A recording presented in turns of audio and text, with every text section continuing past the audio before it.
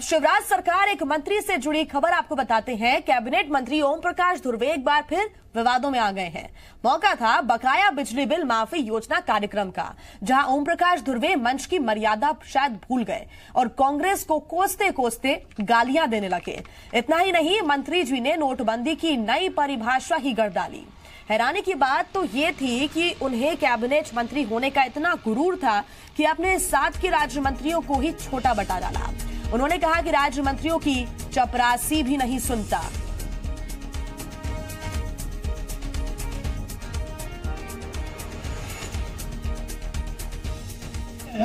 कांग्रेस तो सोचता था कि जितना ही हम दारू पिया था, तहाँ हो जाए दारू बनाए के छूट देंगे ना।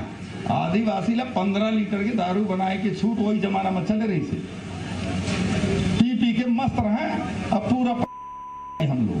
तो पहले कांग्रेस के जमाना में जितना रास्ता है, सब पक्का रोड रहने का, पक्का रोड।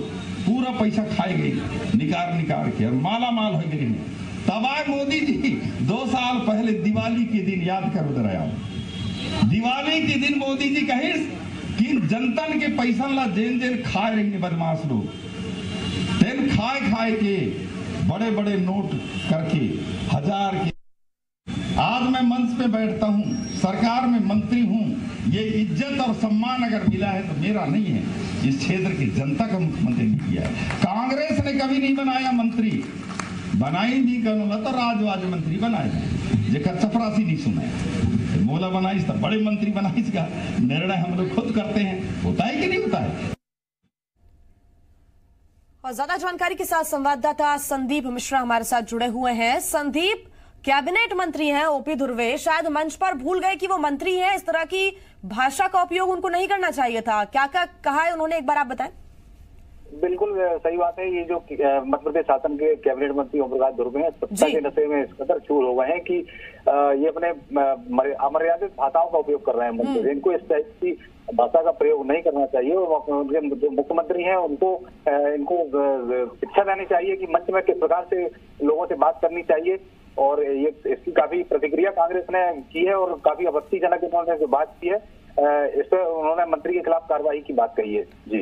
जी, और कहीं ना कहीं संदीप, गुरूर इतना ज़्यादा चढ़ चुका है कि राजनीति में कदम रखते ही शायद कई मंत्री नेता अपनी मर्यादा भूल जाते हैं, अमर्यादित भाषा का इस्तेमाल करते हैं। अब ऐसे में वहाँ के जो लोग हैं उनमें भी कहीं ना कहीं एक, अपने प्रतिनिधि के लिए एक अलग छवि बन जाती है। और ऐसे में पूरी पार्टी जो है, उसकी छवि भी कटघरे में खड़ी हो जाती है। बिल्कुल पार्टी पर सवालिया निशान तो खड़े होते हैं ऐसे मंत्री के बड़बोलेपन पे और ओम प्रकाश चौधरी की बात है तो मंत्री जी का जो ये कोई पहला बयान नहीं है इसके पहले भी इन्होंने कई प्रकार के पहले भी कई बयान दे चुके हैं चाहे वो नक्सलगढ़ी को लेकर चाहे वो किसी अधिकारी के खिलाफ हो अक्सर इनके बयान जो है सार्वजनिक रूप से सामने आते रहते हैं और अभी तक इनकी जो जवान पे भाजपा ने ना लगाम लगाई है और ना ही इनके मुख्यमंत्री ने लगाम लगाई है। संदीप जानना चाहेंगे नोटबंदी को लेकर भी एक अलग ही थ्योरी आज देते हुए नज़र आए ओम प्रकाश धुर्वे क्या कुछ कहा उसके बारे में? बिल्कुल इन्होंने सार्वजनिक रूप से जो नोटबंदी की बात जो उन्होंने की थी जो प्रधानमंत्री ने नोटबंदी का उठाया था कदम उठाया था उसको लेकर उन्होंने ये काफ़ी विवादित बयान दिया है कि जो नोटबंदी की जो रकम खजानों में सरकारी खजाने में जो जमा हुई है इससे जो शासन की जो योजना चल रही है ये शासन की योजना इसी नोटबंदी की देन है। तो ये काफ़ी बड़ा बयान और काफ़ी आपत्तिजनक बयान कहा जाएगा इनका। संदीप एक चीज़ और राज्य मंत्रियों की चपरासी भी नहीं सुनता ये उन्होंने कहा वहाँ पर मंच पर कौन कौन से ऐसे मंत्री थे जो बैठे हुए थे और राज्य मंत्रियों की चपरासी नहीं सुनता इसके क्या मायने निकाले जाए?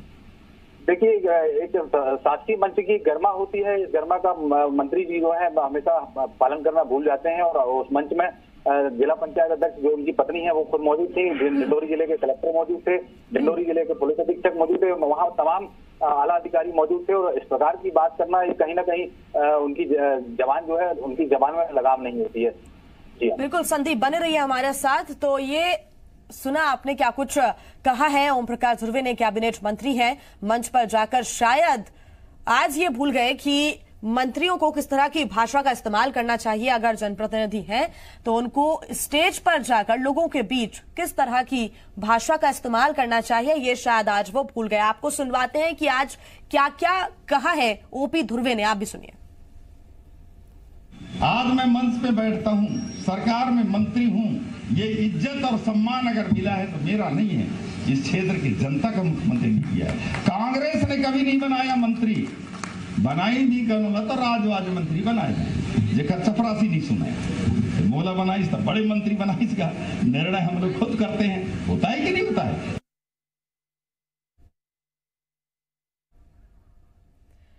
तो ये सुना आपने क्या कुछ कहा है? ओपी ध्रुवे ने, अब ऐसे में हर बार एक सीख दी जाती है, नसीहत दी जाती है सभी मंत्रियों को, सभी नेताओं को, कि अगर इस तरह की भाषा का इस्तेमाल वो करते हैं तो पार्टी की छवि भी दाव पर लग जाती है। संदीप, हमारे संवाददाता हमारे साथ लगातार जुड़े होते बहुत धन्यवाद संदीप आपका तमाम जानकारी के लिए।